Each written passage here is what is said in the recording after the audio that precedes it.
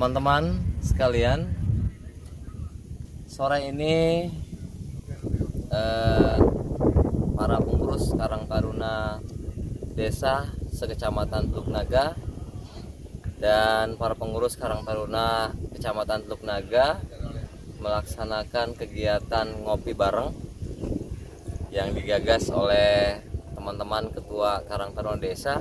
Kali ini kita meminjam lokasi KWT yang di mana ini adalah menjadi satu destinasi wisata buatan yang awalnya ini kumuh terus kemudian disulap oleh kepala desa Kampung Melayu Barat yaitu Bapak Subur Mariono menjadi eh, tempat-tempat dan taman-taman yang cukup indah.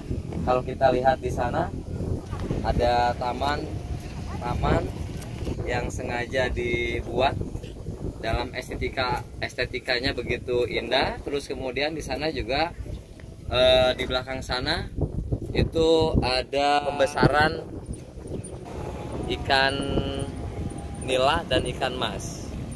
Nah di sini juga warga masyarakat baik itu warga masyarakat kecamatan tetangga terlebih warga masyarakat kecamatan Teluk Naga karena ini dibuka untuk umum dan boleh menikmati seluruh warga. Karena di sini juga bagus di sana juga di belakangnya itu ada apa tanaman padi yang masih produktif yang dikelola